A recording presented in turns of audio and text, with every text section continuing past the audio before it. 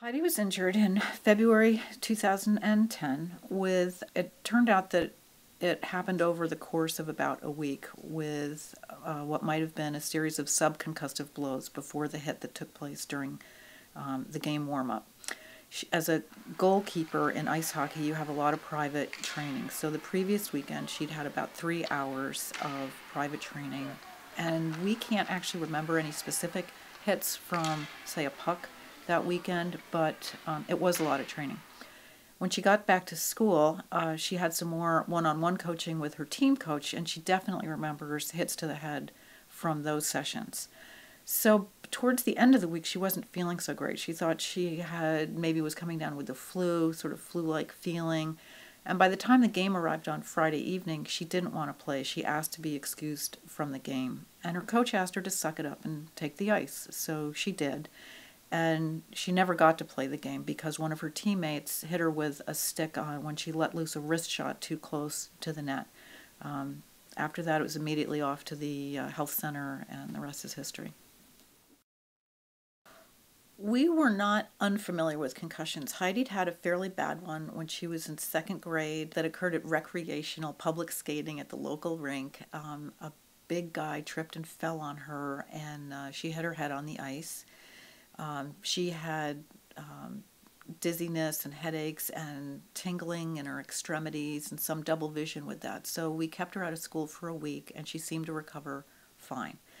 The, the next one occurred when she was in ninth grade. She um, collided with a fellow softball player. She was uh, pitching and she collided with the third baseman trying to catch an infield pop up, and that concussion lasted about five weeks. Um, she never had school accommodations for that, but we were aware that she needed a lot of extra rest and she might have been excused from some testing during the time and certainly was excused from play. So we thought she was pretty, we thought we were pretty savvy, um, but as the time went on with this hockey concussion, we had no idea where what we were getting into. Once you're past three or four weeks. It's um, it's a very mysterious journey for both the child and the, the parents. Heidi's hit happened on a Friday night, and the very next day, the whole junior class was scheduled to take the ACT plan test, which is used for professional assessment in terms of life objectives. And because the concussion specialist wasn't available at the health center um, over the weekend, that weekend, the health center refused to excuse her from four hours of cognitive testing the very next day. Now, I told Heidi that I didn't think she should take this test, but she said she would get an unexcused absence as if it were, she had skipped a class if she weren't to take the exam. So, honestly, her cognitive rest really didn't start till noontime on Saturday. I went up to join her at school, mostly because I wanted to be sure that she did spend the rest of the weekend resting. I wanted to be sure that her dorm mates and classmates didn't invite her out to go to the movies, go to the mall, hang out around the dorm, horse around.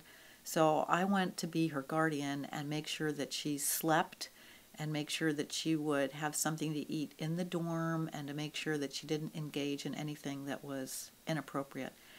That part was fine. By Sunday evening when I came home, I could see that she was had improved from Saturday noontime to Sunday evening at 8, there was clear improvement. The headaches were starting to abate.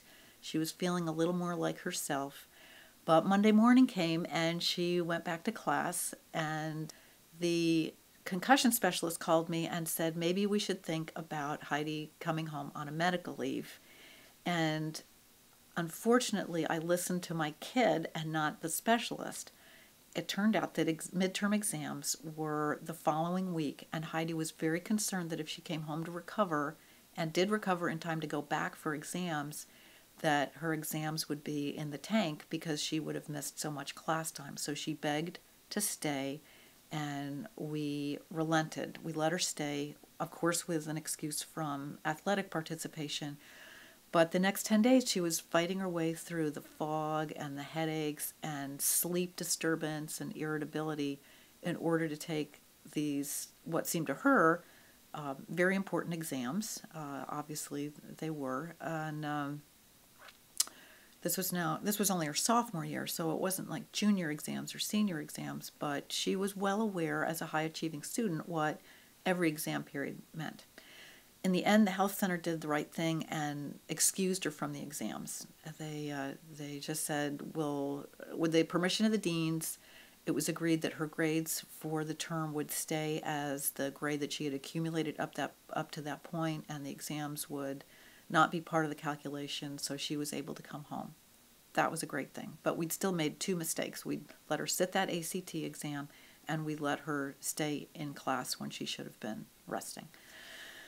Uh, um, that ex- that medical uh, leave rolled right into her spring break, and we tried as much as possible to follow the rest protocol but we were also anxious because we were already a couple of weeks into this to try and figure out how we could help her sort of rebuild what had suffered in the sheer stresses, right? The sheer, the physical shear of the concussion. We did simple things like puzzles, simple brain exercises, sort of took a page out of the rehab book for um, like stroke recovery. And um, Heidi thinks that that might have been helpful, but it was still probably too soon given how severe the concussion was and how slow the, prog- the evident progression was at that time. It was spring break. Uh, we had planned a trip to Florida with some friends. She was supposed to be visiting a friend at the grandparents' house in Florida. We thought, oh, this would be nice. Her doctors agreed, quiet time by the pool in Florida.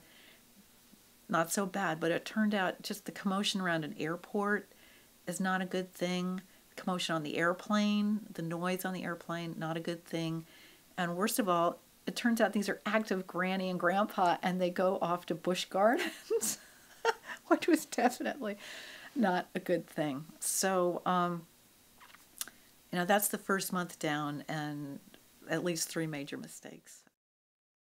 We've learned since that uh, cognitive rest is critical in addition to the physical rest. And because our kids are students, I like to now think of these injuries as having happened to or having created a concussed student as opposed to a concussed athlete. A lot of the emphasis over the last few years has been how to treat the concussed athlete. What are the return to play protocols? But I think from a parent's point of view and from the point of view of the future of the student, it's a lot more important to think of uh, the pay attention to what the cognitive impact is um, and how to treat your concussed student. So it's very important now to remember that not only is it important to avoid play, but it's also important to avoid cognitive exertion. Um, and that cognitive rest in terms of staying out of school, staying away from video games, staying away from even something that's familiar and comfortable, maybe like reading, but which is cognitively very challenging, um, is critical to making a successful recovery at an early point instead of having it being extended as Heidi's was, because we made mistake after mistake with um, the cognitive angle um, and this hockey concussion. Heidi's concussion uh, occurred about a year before she was eligible to get her permit, which is a very good thing. But many of our concussed athletes or concussed students, this is going to happen at a time in their life when they've either got their driving permit um, or have already gotten their license. And it's very important to be aware of the cognitive processing issues related to concussion that can impact driving. So, for instance, one very important element of the impact test is reaction time we all know that reaction time is critical to successful driving, and we all know that um, awareness and judgment is uh, impaired by uh, concussion. So I urge parents to be very cautious about the freedom they give their student driver, either on a permit or one even who is fully licensed, um, freedom to drive because your child is at clearly greater risk behind the wheel when they have a concussion when they do not have a concussion. There are the obvious painkillers uh, like extra strength Tylenol, or in some cases, something stronger, um, Percocet is uh, something that we used for a while. Um, thousand milligrams of ibuprofen um, and other uh, psychoactive drugs. Uh, one I have described elsewhere as amantadine was offered to us earlier, but early on, um, you're basically interested in trying to numb the pain of the, the headache, which is the um, NSAIDs, right? Your ibuprofens mostly. You don't want uh, you don't want to encourage you don't want to take anything that's going to encourage a brain bleed. So extra strength aspirin, for instance, is not a great choice in in that situation. We were offered uh, amantadine, uh, which has been shown to be uh, active in uh, improving cognitive issues early on in the concussion, but we opted to uh, avoid that at that time because we felt that the rest was more important and we didn't want to mask um, what the uh, the indicative symptoms were by covering it up with a, a, brain drug. Later on, we got into the amantadine because um, at that point we felt at 10 months we felt we were running running out of options. But early on, um, the pain is uh, dealing with the pain of the concussion, you know, the massive headaches, whether that's NSAIDs or, or something stronger or even a, a post op drug. Heidi was on a post op uh, analgesic uh, for a brief period of time. Uh, those are important to your child just in terms of daily physical comfort and uh, overcoming sleep disturbance because sleep disturbance is a very obvious nuisance concussion symptom. And if you are thinking about rest, the next thing to think about is sleep. And when a child has disturbed sleep, it's hard for them to feel rested. Over the period of an extended concussion, you're going to see a lot of medical professionals. The first person you're probably going to see is going to be a pediatrician. You may see an orthopedic, you might say surgeon, but an orthopedic doctor because they're accustomed to sports injuries. Um, you may want to see a neurologist, uh, although those tend to be less helpful uh, with um, concussion than they are with a more traumatic brain injury. Um, we also saw a chiropractic neurologist, which is very helpful. Uh, chiropractic neurology, uh, chiropractic is a now a recognized specialty and outshoot of uh, osteopathic medicine, and an osteopathic neurologist can do everything a neurologist can do except prescribe brain drugs, but is accustomed to prescribing and administering uh, mild brain exercises to gently help stimulate brain function. Um, in addition, of course, we got into the neuropsychology element because those are the people who can help supervise the cognitive recovery of your child's brain. Um, but most parents are also aware that there are going to be other uh, issues in um, concussion recovery. So, for instance, uh, light sensitivity. Well, that means your eyes are involved. Heidi's regular optometrist noticed over the summer with her uh, regular checkup, we didn't think of it beforehand, but with her regular checkup, he noted that her field of vision had been impacted. And so he then started to do monthly follow ups to track that that was Im- actually improving before we referred to uh, referred her to a um, neuro ophthalmologist, someone who specializes in the function between uh, the brain and the eyes. Similarly, um, Heidi's hearing impaired. She lost a little more hearing out of this concussion episode. There is a specialty called um, neurotology. Those are people who specialize in the brain function of the ears. So, um, hearing impact, eye impact, not unknown. Be aware, especially if your concussed student uh, is a driver, because impact in the field of vision uh, is could have serious consequences for their driving. Their blind spot is enlarged, for instance. Um, in addition, we saw a second uh, orthopedic specialist, that was Dr. Robert Cantu. Um, and we saw the vestibular therapist, so there's another medical professional who was involved. Different medical specialties, none of whom are accustomed to speaking with each other. So the parent has to keep a notebook, be aware of what all the different ramifications are because there's no concussion specialist that you can go to these days who can coordinate all the different specialties that might have uh, useful information about your concussed student's recovery.